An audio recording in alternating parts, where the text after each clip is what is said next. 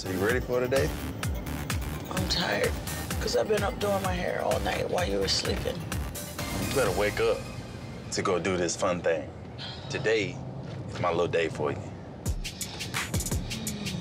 Jon has done the sweetest thing for me. He planned a staycation for us to get away and escape and just relax. But my stomach isn't feeling good. And I don't know how to like tell him like I don't want to go to this amazing resort because my tummy hurts.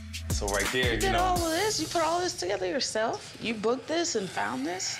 Well, I mean, you know, it did take some, you know, Googling and What is this?